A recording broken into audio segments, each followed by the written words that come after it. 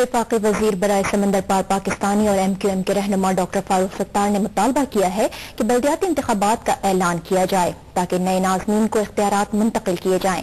ان کا کہنا ہے کہ اگر اس دوران ایڈمنسٹریٹرز منتخب کرنے ہیں تو اس پر بات چیت ہو سکتی ہے۔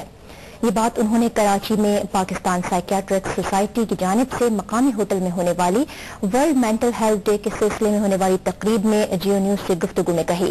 ڈاکٹر فاروق ستار کا کہنا تھا کہ پاکستان پیپلز پارٹی اور ایم کیو ایم کے درمیان اس بات پر اتفاق ہے کہ بلدیاتی نظام میں اصلاحات لائی جائیں اور یونین تحصیل اور تعلقات کی سطح پر ناظمین کو زیادہ اختیارات دیے جائیں۔ انہوں نے کہا کہ آئندہ بلدیاتی انتخابات پارٹی بنیاد پر ہوں گے۔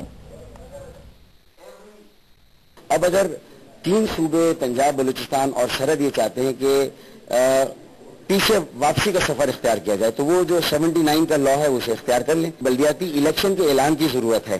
اور وہ اگر اعلان ہو جائے، تو وہ بیچ کے عرصے میں اگر ایڈمنسٹریٹرز لانے ہیں، تو اس پر بات چیت ہو سکتی ہے۔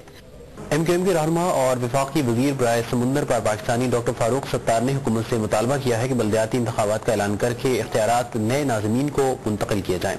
کراچی کے مقامی ہوٹل میں تقریب سے خطاب کے بعد میڈیا سے بات چیت کرتے ہوئے ڈاکٹر فاروق ستار نے کہا کہ ایڈمنسٹریٹرز کے انتخاب کے حوالے سے بات چیت ہو سکتی ہے۔ انہوں نے کہا کہ بلدیاتی نظام میں اصلاحات پر پیپلز پارٹی اور ایم کے ایم کے درمیان اتفاق ہے اور یونین تحصیل اور تعلقہ کی سطح پر ناظمین کو زیادہ اختیارات دیے جائیں۔ ڈاکٹر فاروق ستار نے مزید کہا کہ آئندہ بلدیاتی انتخاب